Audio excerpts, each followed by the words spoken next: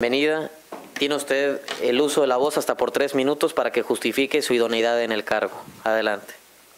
Para recuperar la fe en el gobierno, desde los altos cargos se deben garantizar ejercicios dotados de transparencia, apertura y rendición de cuentas, porque de esta manera se puede proporcionar a los ciudadanos la confianza en las instituciones públicas, buscando que reine la igualdad y la libertad.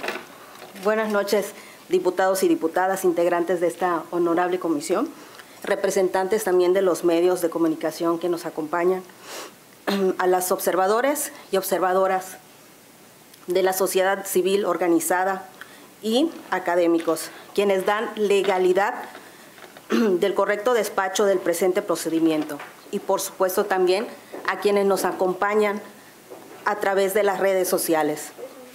Agradezco la oportunidad que se le brinda mi persona al poder presentarme ante ustedes en el marco de la convocatoria emitida por esta comisión para ocupar el cargo de titular de la unidad de vigilancia de la Comisión de Hacienda, Presupuesto y Cuenta. En tenor de lo anterior, me siento honrada de expresar mi compromiso cívico y el deseo de servir al Estado. México y Quintana Roo enfrentan en conjunto enormes retos y desafíos, muchos de ellos contemplados en una sola palabra, corrupción la cual representa uno de los mayores problemas para el desarrollo de nuestra sociedad. Por ello me encuentro convencida que a través de los organismos institucionales de control se deben aportar para su combate y así crear condiciones para un Quintana Roo más próspero y justo.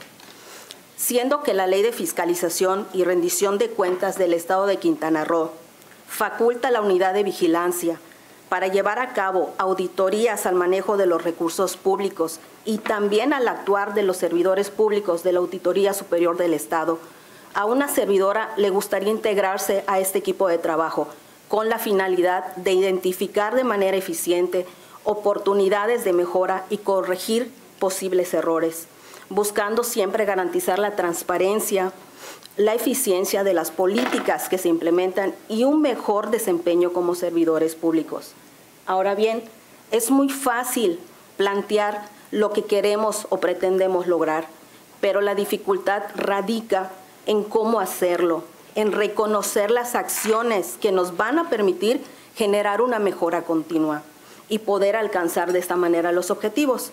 En este punto, considero que la colaboración y el trabajo en equipo nos van a ayudar también la comunicación efectiva eh, para poder tener una adecuada planeación. Esta planeación quisiera implementarla primero en cuestión del programa de trabajo de la unidad, de darle seguimiento y sobre todo un monitoreo constante, porque a través de esto nosotros vamos a permitir detectar posibles riesgos y vulnerabilidades. También creo en la capacitación constante. Esto juega un rol muy básico en alcanzar los objetivos institucionales pero no quiero solamente capacitación en cuestión de fiscalización y rendición de cuentas, sino también en algo muy básico que son los valores, la ética personal y la ética profesional, para dotar de una base sólida a los servidores públicos, evitando también con esto malas prácticas como el peculado, el desvío de recursos o el enriquecimiento ilícito. Agradezco su consideración y espero poder contribuir a las labores que ya viene haciendo el Poder Legislativo en cuanto a transparencia, rendición de cuentas y combate a la, corrupción, siempre en pro del bienestar de la ciudadanía quintanarroense. Es cuanto. Gracias.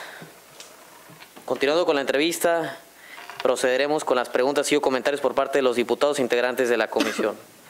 ¿Alguna diputado o diputado tiene alguna pregunta o comentario al respecto? Adelante. Con tu permiso, presidente, bienvenida compañera.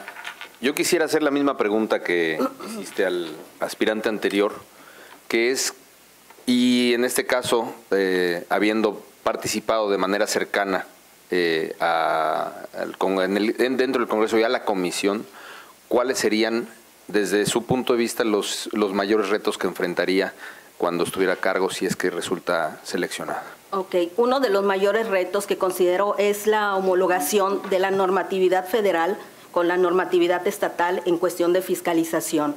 Y también otra, otra cuestión sería como un reto analizar el actual programa de trabajo con el que cuenta la unidad de vigilancia para analizar si se abarcaron todos los campos que está facultada la unidad para, para llevar a cabo, ¿no? Entonces, de poner esto en la mesa y también, como mencioné eh, hace un momento, me gustaría la capacitación constante del equipo de trabajo con el que cuenta la unidad.